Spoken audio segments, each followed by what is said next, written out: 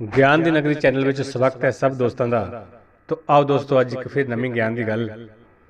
ਆਪ ਜੀ ਦੇ ਨਾਲ ਸਾਂਝੀ ਕਰੀਏ। ਅੱਜ ਦੀ ਜੋ ਗਿਆਨ ਦੀ ਗੱਲ ਹੈ, ਇਸ ਦੇ ਵਿੱਚ ਅਸੀਂ ਦੇਖਾਂਗੇ ਕਿ ਅਸਲ ਵਿੱਚ ਰੱਬ ਕਿੱਥੇ ਮਿਲਦਾ ਹੈ। ਤੋਂ ਇਹ ਪੈਗਾਮ ਦੇ ਵਿੱਚ ਜੋ ਸਾਖੀ ਆਪ ਜੀ ਨਾਲ ਸਾਂਝੀ ਕੀਤੀ ਜਾਵੇਗੀ, ਉਸ ਦੇ ਵਿੱਚੋਂ ਸਾਨੂੰ ਬਹੁਤ ਕੁਝ ਸਿੱਖਣ ਨੂੰ ਮਿਲੇਗਾ। ਤੋ ਹੱਥ ਜੋੜ ਕੇ ਬੇਨਤੀ ਹੈ ਕਿ ਇਸ ਸਾਖੀ ਨੂੰ ਪੂਰਾ ਜ਼ਰੂਰ ਸੁਣਨਾ। ਹੋ ਸਕੇ ਤੇ ਲਾਈਕ ਸ਼ੇਅਰ ਕਮੈਂਟ ਜ਼ਰੂਰ ਕਰਨਾ। ਆਓ ਅੱਜ ਦਾ ਇਹ ਪੈਗਾਮ ਸ਼ੁਰੂ ਕਰੀਏ।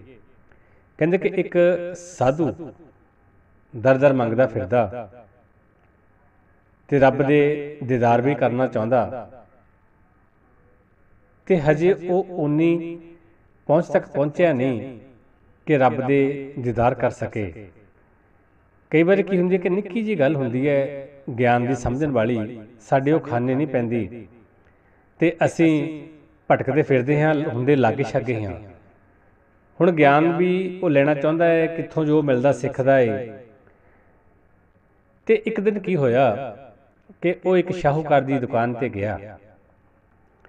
ਤੇ ਸ਼ਾਹੂਕਾਰ ਨੇ ਦੁਕਾਨ ਦੇ ਵਿੱਚ ਬਹੁਤ ਵਧੀਆ ਡੱਬੇ ਟਿਕਾ ਕੇ ਰੱਖੇ ਹੋਏ ਸਨ। ਸੰਨਿਆਸੀ ਨੇ ਜਦੋਂ ਦੇਖਿਆ ਕਿ ਡੱਬੇ ਬੜੇ ਢੰਗ ਤਰੀਕੇ ਦੇ ਨਾਲ ਟਿਕਾ ਕੇ ਰੱਖੇ ਹੋਏ ਨੇ ਤੇ ਪੁੱਛਦਾ ਏ, ਇਹਨਾਂ ਡੱਬਿਆਂ ਦੇ ਵਿੱਚ ਕੀ ਹੈ?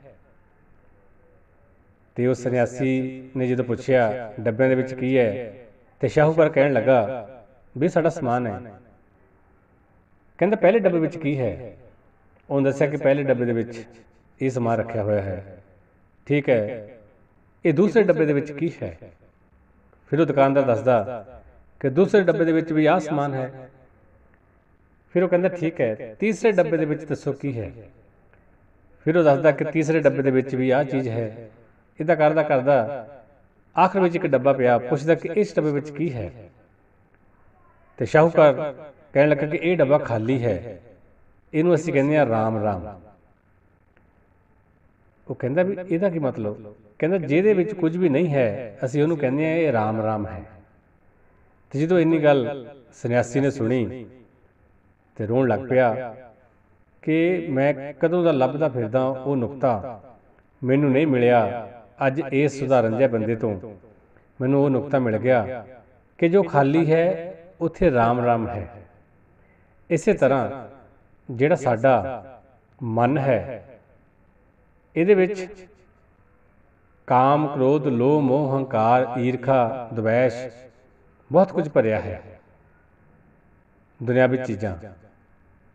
ਕਦੀ ਆਹ ਲੋੜ, ਕਦੀ ਉਹ ਲੋੜ, ਕਦੀ ਆਹ ਚਾਹੀਦਾ, ਕਦੀ ਉਹ ਚਾਹੀਦਾ। ਇਹ ਬਹੁਤ ਕੁਝ ਇਹਦੇ ਵਿੱਚ ਭਰਿਆ ਪਿਆ। ਇਸ ਲਈ ਇਹਦੇ ਵਿੱਚ ਰਾਮ ਰਾਮ ਨਹੀਂ ਹੈ। ਰਾਮ ਰਾਮ ਮਤਲਬ ਪਰਮਾਤਮਾ ਦਾ ਨਾਮ, ਰੱਬ ਦਾ ਨਾਮ ਨਹੀਂ ਹੈ।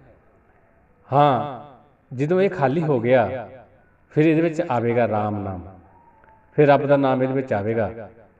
ਤੇ ਉਹ ਸੰਨਿਆਸੀ ਕਹਿਣ ਲੱਗਾ ਕਿ ਅੱਜ ਤੋਂ ਬਾਅਦ ਮੈਨੂੰ ਸਮਝ ਲੱਗ ਗਈ ਕਿ ਰੱਬ ਦਾ ਨਾਮ ਕਿੱਥੇ ਹੈ, ਸਾਡੇ ਮਨ ਦੇ ਵਿੱਚ ਹੈ, ਸਾਡੇ ਅੰਦਰ ਹੈ।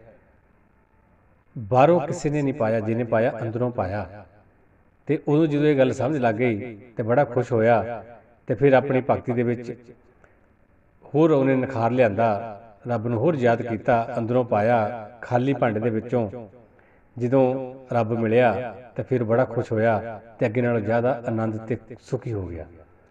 ਤਾਂ ਸਾਨੂੰ ਵੀ ਇਹ ਸਿੱਖਣ ਦੀ ਲੋੜ ਹੈ ਕਿ ਰਾਮ ਨਾਮ ਕਿੱਥੇ ਹੈ ਖਾਲੀ ਭਾਂਡੇ ਵਿੱਚ।